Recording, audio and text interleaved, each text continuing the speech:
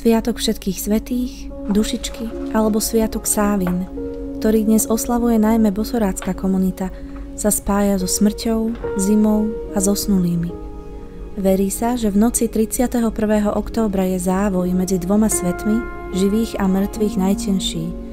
A mnohé duše prekračujú túto hranicu, navštevujú svoje oblúbené miesta aj pozostalých. Preto je najčastejším zvykom Sviatku Sávin príprava akéhosi oltáru alebo hostiny pre duše, ktoré očakávame v túto noc ako vzácnu návštevu. Obyčajnú bielu sviečku rozlomím na polovicu. Zapálim knot špičky sviečky a spodnú časť sviečky z druhej strany. Tento rituál slúži na komunikáciu so zosnulými a sviečka smerujúca nahor symbolizuje súhlas a druhá nie alebo nesúhlas. V dnešnú noc ľudia takto komunikujú a pýtajú sa najrôznejšie otázky zosnulých a sledujú oheň sviečky, ktorý sa po otázke viac rozhorí.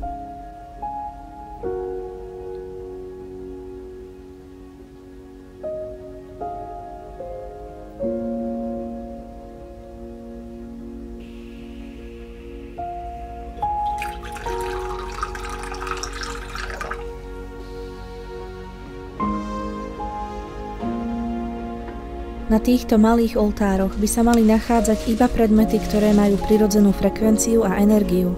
Najčastejšie sa ponúkajú alkoholické nápoje, ktoré sú veľmi aromatické.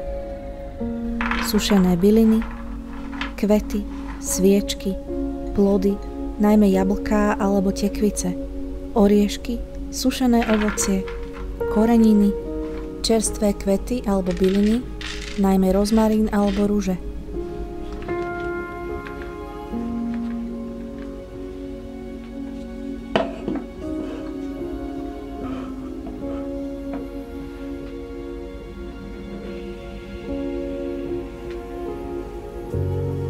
plody lesa, kryštály, vonné tyčinky alebo esenciálne oleje.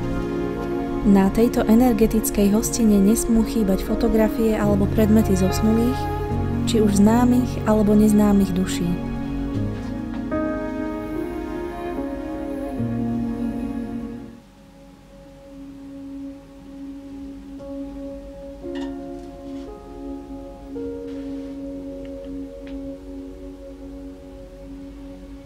Umiestňujú sa sem predmety duší, ktorých chceme pohostiť.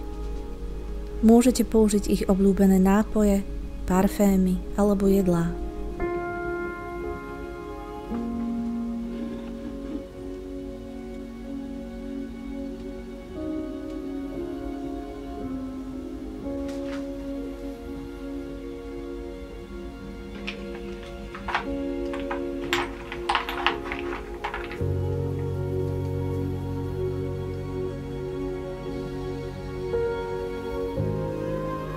Tento čas strávte meditáciou, spomienkami na zosnulých, na predkov, vodcov alebo domácich miláčikov.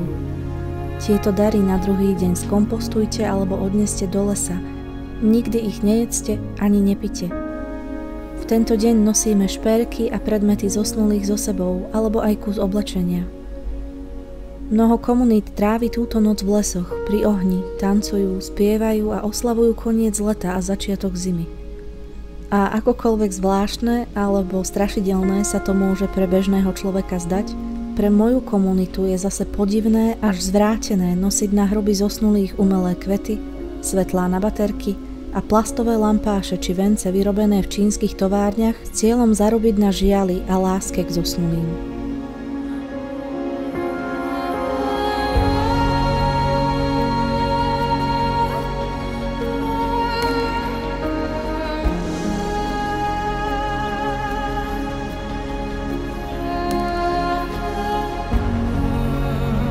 Tieto dary nemajú prirodzenú energiu ani frekvenciu, preto ľudia obdarovávajú na miesto mŕtvého iba okolo idúcich a príbuzných, aby ukázali, že hrob navštívili a niečo priniesli. Napodobeninu bez štipky lásky a záujmu. A o to duše veru nestoja. Prosím o odpustenie, Matku Zem, za všetkých, ktorí aj ten najposvetnejší sviatok dokázali speňažiť. Prosím o odpustenie duchov lesa, za vytvorený plastový odpad, ktorý je v tomto období všetkých svetých niekoľkonásobne vyšší ako po iné sviatky. Žehnám našu zem a prosím, nech to všetko ešte chvíľu vydrží. Modlím sa za veľké prebudenie zaslepených a vzdávam vďaku za uplynulý rok. Želám pokojný spánok zosnulým a prajem si, aby sme namiesto falošných ozdôb z čínskych obchodov našli čas na spomienku, tichú modlitbu, rozhovor či zaujímavý príbeh zo života zosnulého.